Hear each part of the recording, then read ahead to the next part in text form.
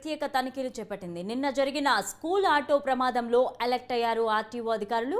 ఏకకాలంలో మూడు చోట్ల అధికారులు తనిఖీలు చేపట్టారు. మద్దిపాలెం ఎన్ఏడి గాజువాక ప్రాంతాల్లో స్పెషల్ డ్రైవ్ నిర్వహించారు. నిన్న ఒక్కరోజే ఇరవై ఎనిమిది ఆటోలు సీజ్ చేశారు. ఇవాళ పదహారు కేసులు నమోదు చేసి ఐదు ఆటోలు సీజ్ చేశారు. ఆటోలో కేవలం ఆరుగురు మాత్రమే ఉండాలని హెచ్చరికలు జారీ చేశారు. ఆటోలో ఎనిమిది నుంచి పది మంది ఉంటే వెయ్యి రూపాయల చలానా వేస్తామని అధికారులు తెలిపారు. పది మందికి మించి ఉంటే ఆటో సీజ్ చేస్తామని అధికారులు తెలిపారు. ఆటో డ్రైవర్లకు కౌన్సిలింగ్ ఇస్తున్నారు అధికారులు.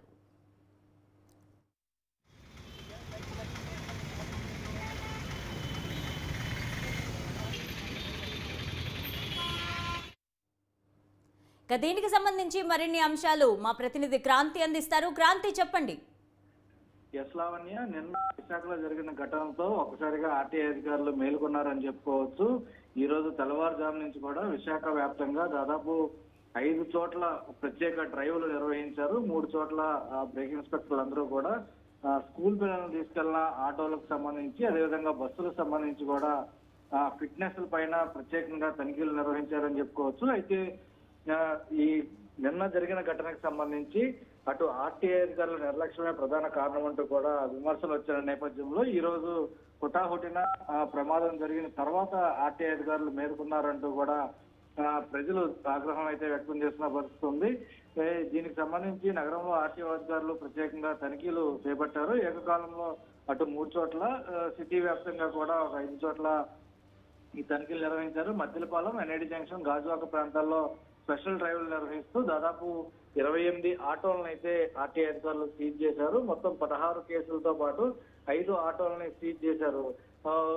మొత్తంగా ఆటోలకు సంబంధించి అధికంగా ఎక్కి పిల్లల్ని ఎక్కించుకుని తీసుకెళ్ళినట్టు కూడా ఆర్టీఐ అధికారులు గమనించారు. అటువంటి ఆటో డ్రైవర్లకి ప్రస్తుతం కౌన్సిలింగ్ ఇచ్చారు. ప్రమాదకర స్థాయిలో ఎక్కించుకు వెళ్తున్న వారి ఆటోలను అయితే సీజ్ చేసిన పరిస్థితి ఉంది పది మంది నుంచి ఉంటే ఆటోని ప్రస్తుతం అధికారులు అయితే సీజ్ చేసిన పరిస్థితి ఉంది దీంతో అటు ఆటో డ్రైవర్లకి ప్రస్తుతం కౌన్సిలింగ్ కూడా ఇస్తున్నారు. దాంతో పాటు తల్లిదండ్రులకు కూడా విజ్ఞప్తి చేస్తారు ఆర్టీఓ అధికారులు. స్కూల్ టైం కి కొంచెం ముందు పంపిస్తే ఆటో డ్రైవర్లు కూడా స్పీడ్ వెళ్ళరు స్లోగా వెళ్తారంటూ కూడా ఒక సలహా కూడా ఆర్టీఓ అధికారులు ఇస్తున్న పరిస్థితి అయితే ఉంది. అయినప్పటికీ కూడా ప్రమాదం జరగక ముందు ఇలాంటి ఈ దాడులు నిర్వహిస్తుంటే చెకింగ్లు నిర్వహిస్తుంటే నిన్న ఈ ఘటనతో పాటు గతంలో జరిగిన ఘటనలు కూడా చోటు చేసుకుని ఉండేవి కావంటూ కూడా కొంత అభిప్రాయం వ్యక్తం చేస్తున్న నేపథ్యంలో ఇప్పటి నుంచి అన్న ఈ తనిఖీలు అనేది ఏ, ఏ, తూతూ మంత్రంగా కాకుండా ఎప్పటికప్పుడు నిరంతరంగా కొనసాగే విధంగా ఆర్టీఏ తనిఖీలు ఉండాలంటూ కూడా కోరుతున్న పరిస్థితి ఉంది లావణ్య ఏదైనా ఘటన జరిగిన తర్వాత క్రాంతి ఏదైనా ఘటన జరిగిన తర్వాత ఇలాంటి తనిఖీలు అనేవి సహజం.